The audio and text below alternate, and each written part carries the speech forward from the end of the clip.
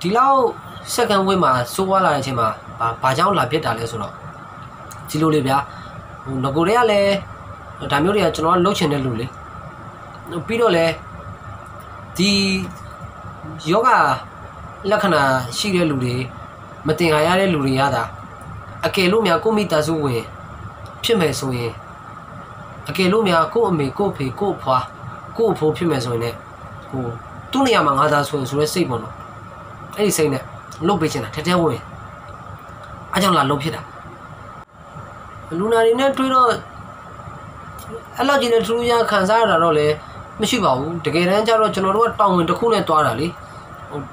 တောင်ဝင်တစ်ခုနဲ့တွားတာဆိုတော့ကျွန်တော်တို့ကသူတို့တောင်ဝင်ယူရမှာလုတ်ပြီးကင်ပေးရမှာအဲ့ဒီမှာတစ်ခုပဲဟိုလုတ်ပြီးကင်ပေးတဲ့အပေါ်မှာကျွန်တော်တို့လုတ်တဲ့အလုပ်ပြောတဲ့စကားသူတို့အတွက်စိတ်အားငယ်ကြဖြစ်သွားမှာပဲစိုးရိမ်တယ်ကျွ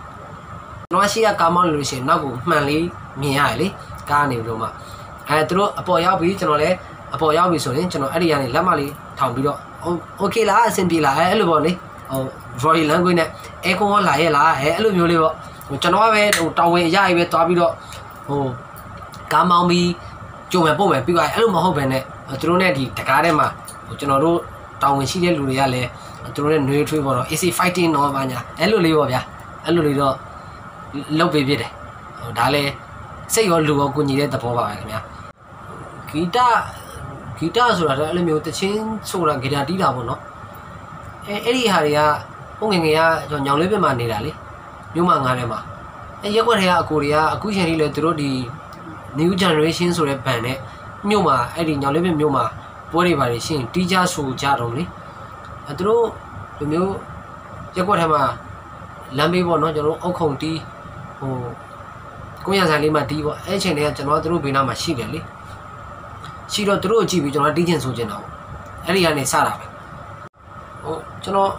ဟို2016တုန်းကကျွန်တော်ခွေထုတ်တယ်လေအာခွေထုတ်ထားပြီးတော့ဟိုတခြားခွေထဲမှာမပါတဲ့ချင်းတွေလည်းကျွန်တော်ဆိုသေးတယ်ဟိုရုပ်ရှင်ဇက်ဝင်တွေပါလေကျွန်တော်ဟိုရောင်းလာတာလေးရှိရပါတော့အခုကရုပ်ရှင်တွေလည်းပြလို့မရအောင်ဆိုတော့အဲ့ဒီချင်းကလည်းမလာသေးဘူး ကျွန်တော်ဘယ်သူမှတော့ဟိုဒီပြန်ပွဲကိုမပြိုင်ဖို့ကန့်ကွက်တာမရှိပါဘူးဟိုကိုထုတ်ထားလို့မထုတ်ထားလို့အဲ့ဒါနဲ့လည်းမဆိုင်ပါဘူးဘယ်သူမှမတားဘူး